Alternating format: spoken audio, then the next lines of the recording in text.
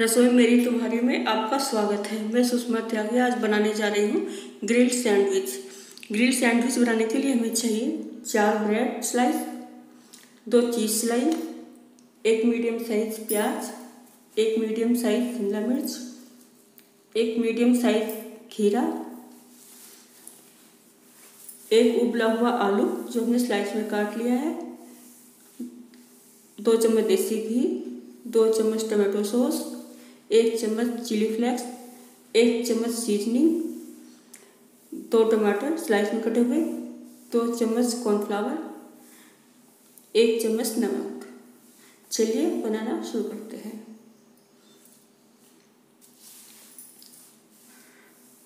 पहले तवा गरम करते हैं, उस पर एक चम्मच देसी घी लगा लेंगे। आलू के स्लाइस को कॉर्नफ्लावर में लपेट कर सेलो फ्राई करेंगे।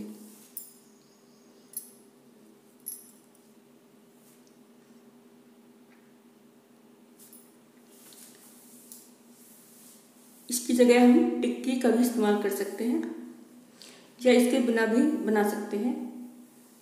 यह आपकी इच्छा पर डिपेंड है।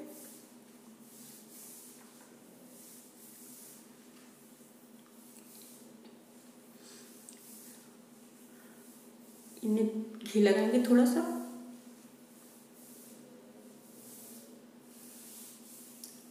धीरे से पलट देंगे।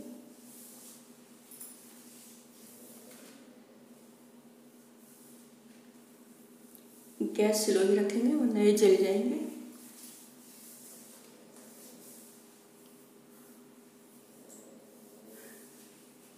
ये देखिए, हमारे सिक्के तैयार हो गए हैं। अब हम इन्हें उतार लेंगे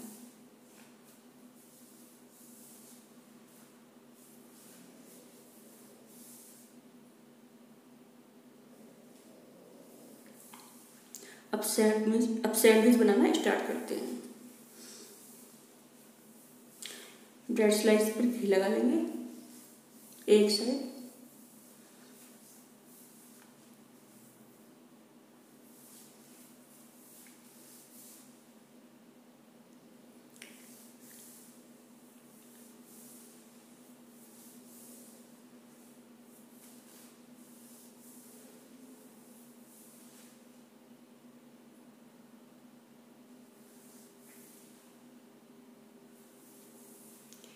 फिर इन पर टमाटो सॉस फैलाएँगे। आप हरी चटनी का इस्तेमाल भी कर सकते हैं, अगर आपके पास हो तो। या फिर सेजवान चिकनी उसका भी इस्तेमाल कर सकते हैं। आपकी इच्छा पर डिपेंड आप कितना तीखा खाना पसंद करेंगे।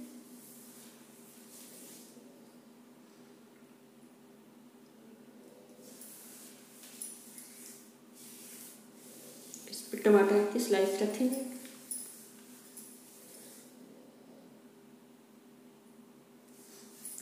आलू के स्लाइस रख देंगे अगर आपको टिक्की रखनी है तो आप टिक्की रख सकती हैं।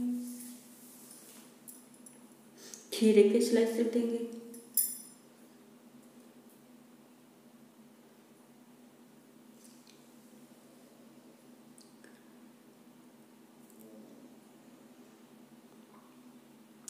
शिमला मिर्च की स्लाइस रख देंगे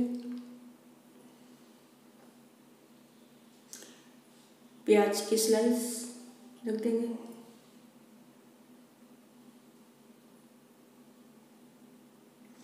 सब्ज़ी आपकी इच्छा पर डिपेंड है। जो भी हो, मौसम में अवेलेबल आप रख सकते हैं।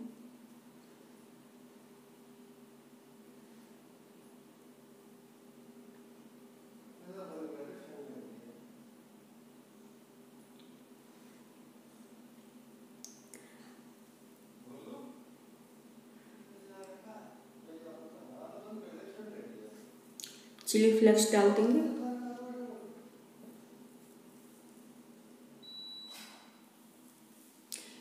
सीजनिंग डाल देंगे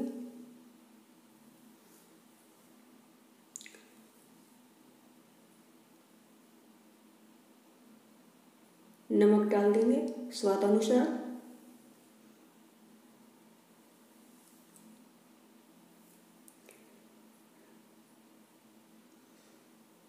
अब इसके ऊपर चीज़ स्लाइस रख देंगे।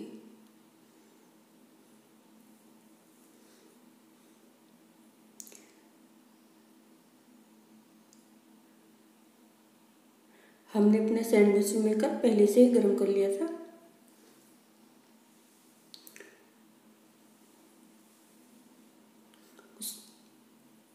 अब इसको सैंडविच मेकर में रख देंगे।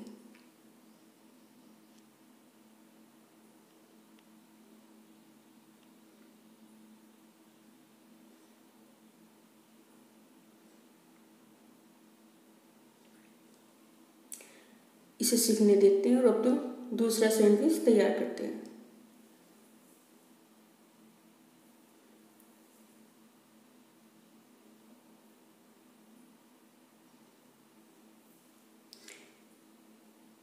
इसे भी पहले की तरह ही बनाएँगे। ये देखिए, हमारा सैंडविच सीख गया है। इसे हम बाहर निकाल लेंगे। ये सैंडविच भी हमारा तैयार हो गया। इस पर हम चीज़ स्लाइस की जगह पिज़्ज़ा चीज़ इस पर डाल लेंगे खूब सारी पिज़्ज़ा चीज़ इस पर डाल देंगे।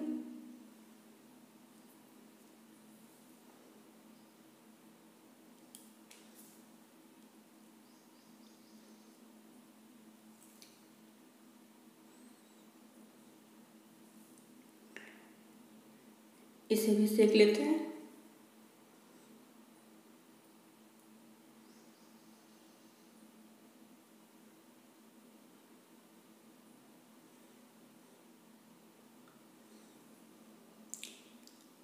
ये देखिए हमारे, ये वाला सैंडविच भी सीख कर तैयार हो गया है। इससे भी बाहर निकाल लेंगे और इन्हें काट लेंगे। ये देखिए कितने सुंदर बने हैं। प्लीज़ हमारी रेसिपी पसंद आई।